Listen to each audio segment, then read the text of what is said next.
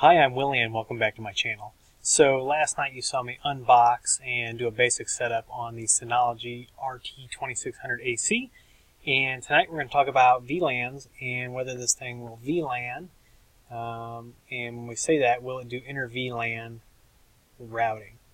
So let's hop over to the router. Short and long of this is, um, if you don't want to watch any more of the video, no, it will not do inter VLAN routing the way that we want.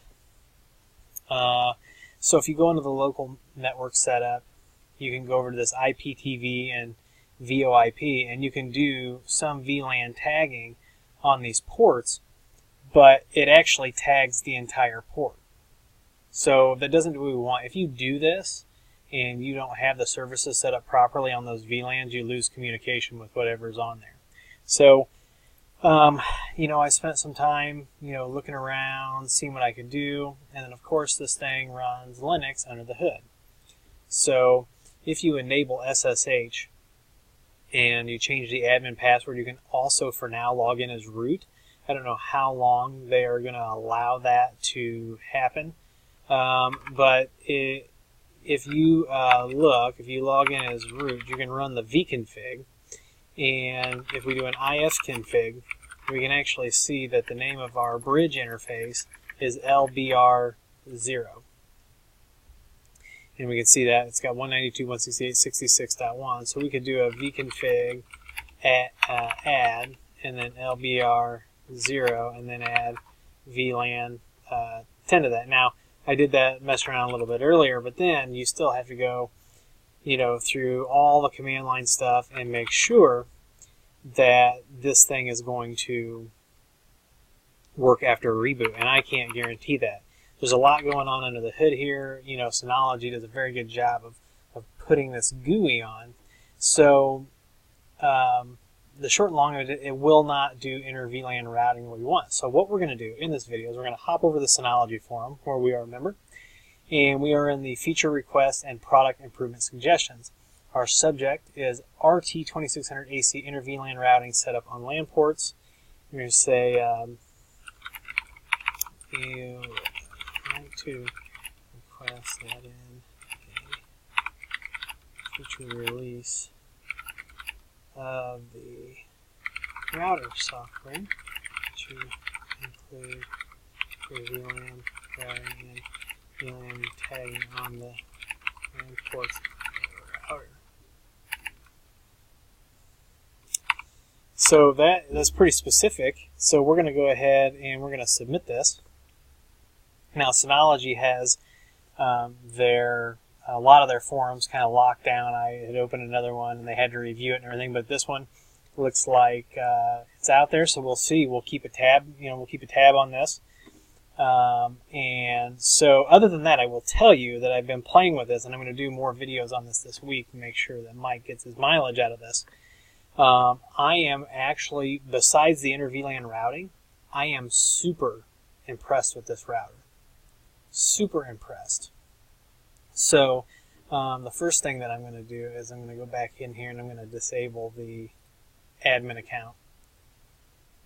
And once I had actually turned on SSH, you, it's really neat. So it's just like any other Synology device where if you've got the auto block turned on, you will start getting these events. So you can see uh, all of these IP addresses that are permanently blocked because they've been trying to SSH into the router. How awesome is that? So I'm actually going to disable SSH so we don't even have that. And that's probably somebody that just got bots or scripts or something out there running just seeing you know what's available. So, uh, real quick to recap, it will not do inter VLAN routing. So, if you're going to have a flat network, so if we were only going to have the 192.168.66 network, we're going to plug in our Ubiquiti AC Pros and then tag the guest VLAN as a guest network. Yes, technically you have this SSID, that is a guest network and the the access point is doing all that firewalling for you, but that's not really what we're after here. So we're going to see if we can get Synology to add this. And I'm actually going to go back into that request. I'm going to link to this video. So, and if they see my channel, uh, they're going to see all the other stuff we do with Ubiquiti and all the other products. So it shouldn't be too difficult for them to understand what we're asking for. So I would think it would be fairly simple for them to add it. I'm not a, you know, I'm not a programmer by day. So, you know, everything under the hood is there. They just have to add it in the GUI and make everything work properly. It's not, it's not always that easy. So we are going to continue to work on the features of this router. I mean, this thing does a lot. I am super, super duper impressed with this router. I, I mean, I really can't say enough, and you're going to see as we get into these videos some of the things that you can do with this. And it's got a phone app. And it's got it's got all kinds of really cool things. Now, is it for your environment? You're going to have to judge that, you know, after we lay this out. So we're going to do these videos this week, then we're going to get back to Ubiquiti, LigoWave, uh, and, and back into the regular rotation next week. Uh, don't forget, next week we're at Wispapalooza. Um, so uh, there probably will, we're going to try to do a live stream. We don't know how that's going to go out. But uh, once again, recap, you know, this will not do the inter VLAN routing out of the box the way we want. And so we've submitted a request to Synology to see if we can get that added. Like I said, I am going to go back and link this video. If you want to check this router out for yourself, there's going to be an Amazon affiliate link down there. It doesn't change your price. Uh, just kicked a few bucks to the channel to keep this kind of stuff coming in.